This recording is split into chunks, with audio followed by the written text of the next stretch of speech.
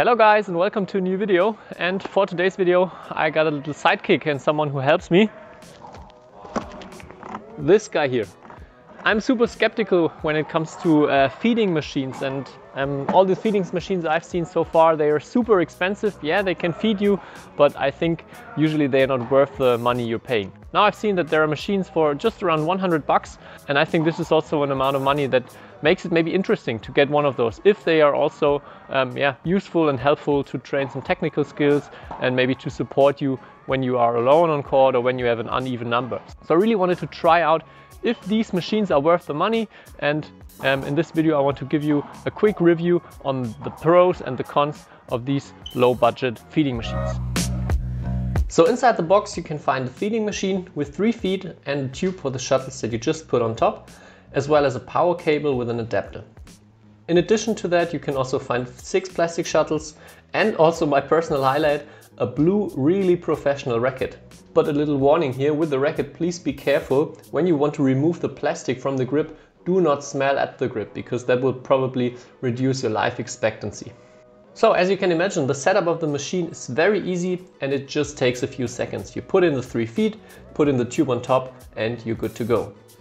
I only tried the machine for a few weeks, so I don't really know how durable the material is, but my first impression is quite good. It's all of plastic, but the quality is okay, it's stable, and it seems like totally okay for the price.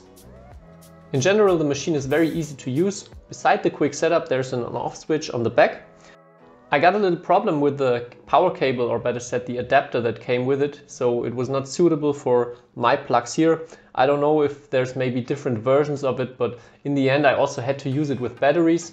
Uh, important thing here, the, no the batteries are not included in the package, so I also had to spend a few extra euros to get the batteries, but then you can use it anywhere you want and you do not need to use the power cable at all. The shooting angle can be adjusted between two options, but to be honest, there's not a real big difference in these two options. Um, you have to use something to put under the feet to adjust it a little bit um, if you want to change the angle of the shooting machine. The tube has a capacity of around 16 shuttles and the machine shoots one shot every 4 seconds. The shot always comes with the same power, a little bit more about the precision later, but here you can see the length of the shot. So when you put the machine under the net or when I put the machine under the net, the shots all land at the back line. If you want to shoot over the net, you have to use something where you can put the machine on top because you cannot adjust the three feet. They're always the same height. I already mentioned it, a big plus definitely is the precision of the machine. Here I use three kinds of shuttles New ones, used ones and plastic shuttles. And if you use new shuttles, the shuttle almost lands on the same spot every time, but you can also use yeah, really bad shuttles and the variance where it lands is still pretty low. So no matter if you want to use plastic shuttles or feather shuttles, the machine can handle all kinds of shuttles and is still very precise even if the shuttle is quite worn out. So now let's have a look how useful it actually is for the training. So as you can only shoot to the same spot with the machine, you can't do any real multi-feeding in my eyes. Maybe you can do a shot and then do a footwork pattern to a different corner, so it maybe gets also a little bit more intense, but in my eyes the primary use is technical training. So as you can see here, even if you put the machine under the net, the shuttle still flies high enough to practice rear court shots. If you want to get a little bit more realistic flight curve, I think it's better to put something under the machine so it shoots over the net but in my eyes, both things work. Here the precision definitely is a big upside to practice some basic technique. You can work on forehand, but you can also work on backhand shots. And the interval of four seconds in my eyes is very suitable to give you enough time to also add in some footwork patterns if you want to start from the middle maybe and then to move into the corner. Because it is so precise, especially with good shuttles, you could also use it for front court shots. Then you have to set it up here at the rear court and yeah, find the distance so it shoots exactly behind the net. It works, but it felt a little bit strange. Also, the interval here is a little bit long with four seconds in my eyes and the flight curve of the shuttle is not that realistic. So it is an option also to work on front court technique, but there usually in the training I would prefer someone feeding me or throwing shuttles. So last but not least, let's also have a look at the midcourt and if you can practice your defensive skills with the machine.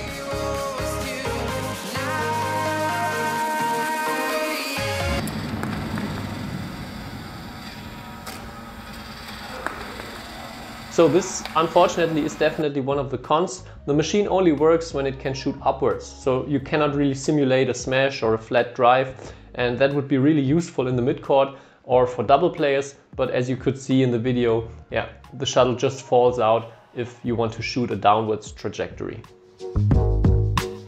So after a few weeks of testing, my conclusion is that the machine is definitely worth the money and I think it's a very cool tool for the technical training. It is very easy to use, you have a quick setup, you have a good shooting precision with different kinds of shuttles and you also have a reasonable time interval in between and a good uh, flight curve that will help you to practice especially rear court and overhead shots but also front court shots if you want. There's also one area that I haven't talked about yet and where the machine in my eyes can be very useful and this is kids training.